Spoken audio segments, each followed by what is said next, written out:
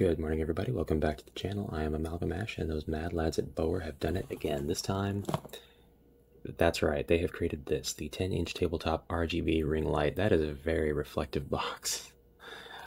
10-inch ring light with LEDs. I saw this at Walmart, and it was very difficult for me to pass up because, for one thing, it was in a mod, which is a term, an internal term for a large cardboard presentation unit that has all kinds of different items in it, and the prices are superimposed along the cardboard, and they're bright and colorful, and they say things like 488. This was $20. $20 regular price, not even clearance. And immediately I just kind of uh, wrote it off as a gimmick. I'm like, there's, there's, there's no way this thing is useful. It's going to be fun. It's going to be good for a laugh video, a goof, a gaff. It does LED stuff. And then I picked up the box and I looked at the back. And besides these crazy lights and, and all kinds of, we'll get to that in a minute, we have this, past the reflection, eight special, no, not, not the special effects, this right here includes standard light mode. That, my friends, makes this purchase worth it out of the box. I'll tell you why. The uh, the 8-inch ring light is $25. The 8-inch standard white ring light is $25. Come with me, and I'm going to show you what I have. This is my setup, okay? That's my 8-inch ring light. It doesn't do, you know, a whole heck of a lot because I, I only have just bought this light, so now I can utilize three-point lighting, which is a standard. This is my 12-inch Bower ring light. That's Earl Grey in a coffee cup, if you were wondering. And the 12 inch ring light, I don't know if it translates to video, but I have talked about it before, is not as bright as the 8 inch because it's got what looks to be the same amount of LEDs, just spread more thin. So the uh, the 12 inch being $36 and the 8 inch being 24 25 maybe even more than that and this being 20 just doesn't make any sense to me when this has the LEDs and special effects and, and all the 12 levels of brightness and all the same hardware and everything, I don't get it. But we're here to do that. We're here to get it. So get it with me. You get your pizza tray, and then your pizza, your ring light pizza. Here's everything. Consider this the unboxing. You get another cardboard box. The cardboard box contains the Bower ball joint to quarter inch threaded screw mount. Uh, on the bottom of this is another threaded screw mount so you can attach this to a tripod or whatever you want. Those things are pretty high quality and they're they're not super easy to come by by themselves so that, that thing is definitely valuable. Your quarter threaded screw flexible neck with ball head mount. This thing came with my 12 inch Bower ring light, but it did not come with the 8 inch because there's just not enough space within the 8 inch to accommodate a smartphone mount. And then finally, this guy.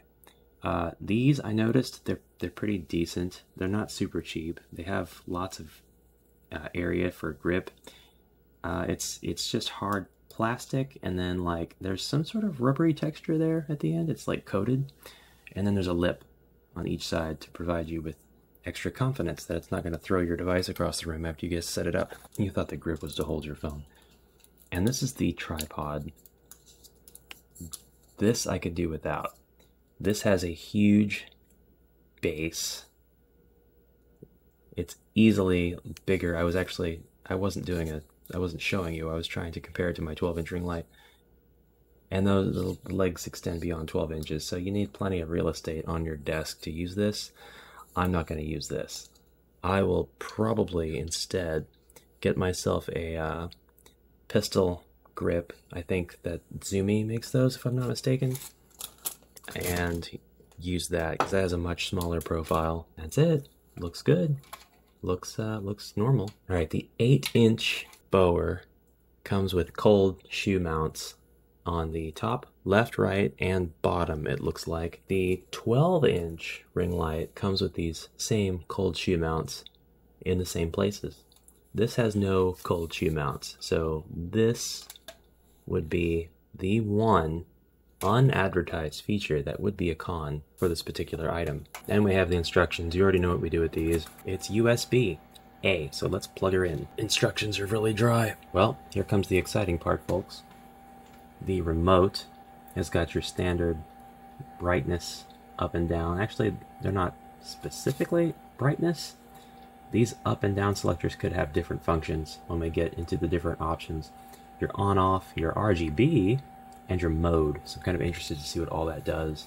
First things first, we're going to turn this sucker on. Hallelujah. Let me tell you, as long as this is the maximum brightness, it is, and as long as it is at the whitest mode, not the coldest or warmest, this thing's brightness sits kind of between that of my 12 inch light and my 10 inch light, which I kind of figured it would. I mean, I, I, I kind of figured it would. Yeah, they're all white. I was just checking to make sure. It is just a little bit, you know, that's kind of hard to say. Maybe I'll let you be the, uh, maybe I'll let you be the judge. They might, they might look the exact same on camera. But, um, boy, that makes my face look shiny. If I put that over there instead of the 8 inch, I might actually not get as much light. It's crazy to think of. Larger light, less LEDs, or same, but spread out. I guess the light could be more even though now. So, uh, we have the standard warm light, cold light, white light. And each of these, again, has its brightness level. So right out of the box, this is worth 20 bucks. Unless you need the shoe mounts on the sides for some reason. It's, it's a great price for a ring light, period. I don't care who you are. Go get this if you need ring lights. By the way, my camera has been really inconsistent lately. I've got aliasing and, and fuzz and anti-aliasing and just the weirdest places. Please disregard. Turn the white balance back on and see what that does. Anyway, turn this back to the white mode. And now, what kind of RGB do we have? Stuff that you're not going to be able to see on camera. Well, that's just fantastic. This is the, uh, you can kind of see that. It's very, very vivid, what I can see. But I just can't see it on camera, which sucks. Let's, oh, there we go. Turn off the exposure, you can see it. It's a lot more vivid than it is on screen, though. Oh, it's doing it by itself. It's just going to cycle through the colors, I guess.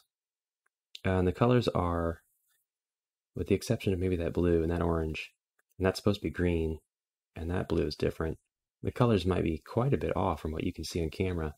And add that to the fact that you can see a lot more white coming off this thing, more light.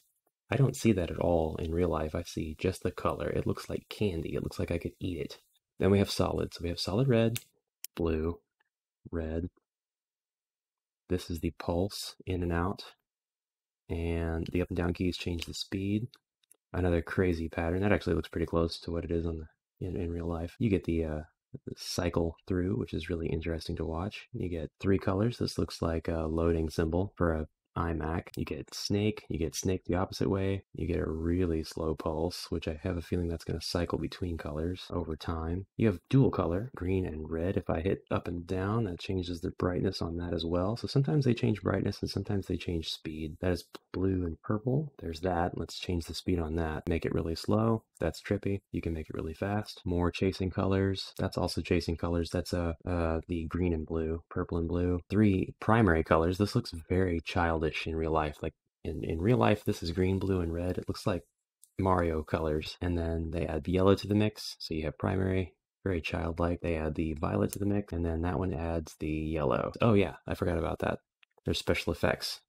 So we have flash, different sides flashing. We are pretending to be police officers. I guess that's what that is. And then the strobe. That's probably not good to show on camera. Uh, different strobes for the different temperature colors. And you can strobe each of the solid colors. That's fairly boring stuff unless you really, really need it. And back to the solid color. So when you turn this off, will it remember our position? Yes, it did. I'm not going to unplug it.